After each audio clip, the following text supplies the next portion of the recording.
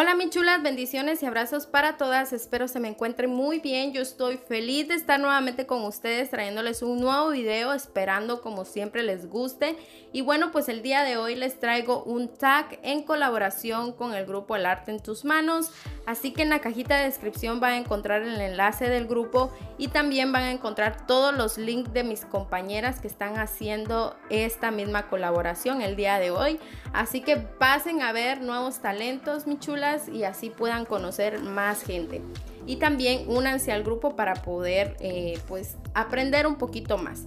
Vamos a comenzar con este video, mi chulas, y la primera pregunta dice así. ¿Qué es lo que esperas de tus seguidores? Pues yo solamente espero mucho cariño y mucho amor, pero de ese amor sincero, mi chulas, que en realidad lo he conseguido porque sí lo he conseguido. Así que eh, denme mucho amor. La segunda pregunta dice, ¿por qué y para qué tienes un canal?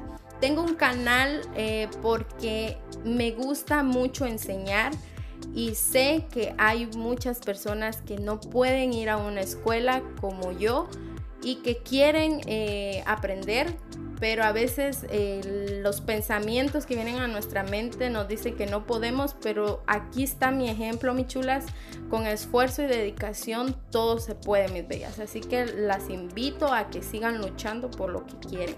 La número 3 dice, ¿cómo nació la idea de tu canal? La idea de mi canal nació porque en realidad yo estaba pasando por un proceso muy difícil. Estaba empezando a entrar en depresión postparto por medio del embarazo de mi nena. Y pues ahí fue donde empecé yo a, levantarme y ver en qué podía entretener mi mente. Así que surgió abrir un canal. La cuarta pregunta dice, ¿cómo elegiste el nombre? Pues con el mismo eh, apoyo de mi esposo, porque le comenté que quería abrir un canal y él siempre me ha apoyado en todo, pues él me dijo, ¿por qué tú no le pones creaciones? Porque tú haces muchas creaciones muy bonitas.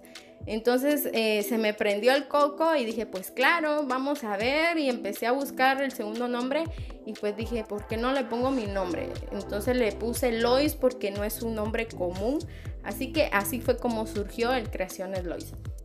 La quinta pregunta dice, ¿cuál ha sido tu peor y mejor experiencia en la aplicación de las uñas? Pues yo tengo muchas malas experiencias y también tengo muy buenas experiencias, mis bellas, así que eh, creo que no me daría este video para explicarles todas. Así que si quieren saber todas mis experiencias, déjenme en los comentarios y yo con gusto les hago un video explicándoles algunas de mis experiencias. La número 6 dice, ¿te molesta que no dejen comentarios o like en tu video? Pues no, no me molesta, mis bellas. En realidad no, no, no me molesta para nada. Simplemente eh, me quedo con las personas que siempre están apoyándome y a mí eso me da mucha satisfacción. La número 7 dice, ¿qué haces con los malos comentarios? Pues yo simplemente los ignoro o los elimino. Ya no me enveneno mi cabeza y tampoco eh, enveneno a la demás gente, porque también hay gente que se deja guiar por lo que ve. Entonces, pues simplemente los elimino y listo. La número 9, ah no, perdón, la número 8 dice, ¿tu primera clienta aún le haces las uñas? Pues sí, claro que sí.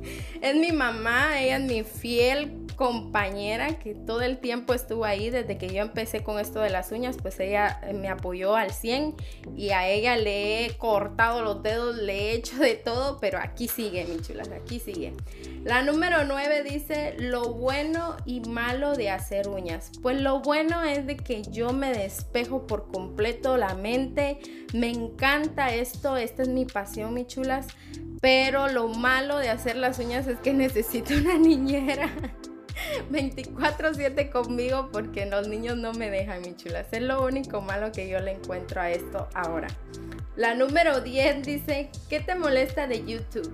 Pues no me molesta nada. Bueno, ¿para qué les voy a mentir? Sí me molestó, eh, pues, eh, esa gente que viene a pedir apoyo y pues a lo último ya no las ves en tu canal. Tú se lo das y ya después ni las ves.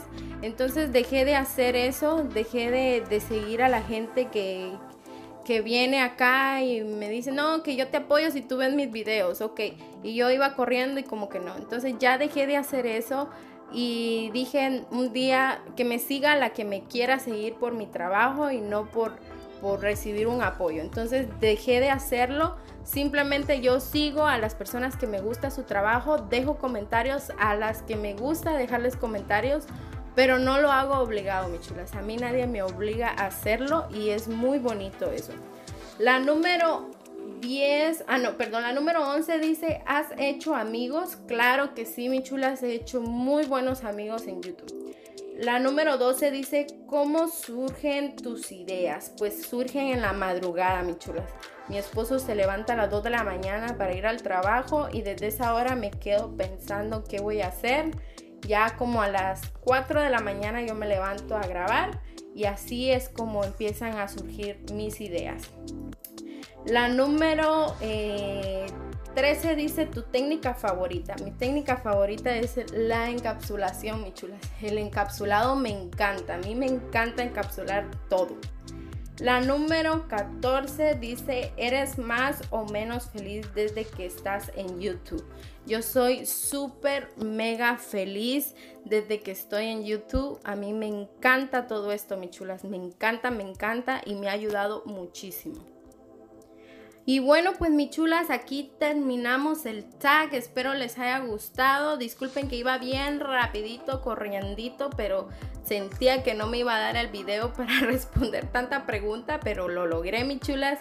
Así que aquí está ya el mix. Lo estoy echando en unas bolsitas porque como saben, siempre hago sorteos de mis mixes. Así que van a ver dos ganadoras.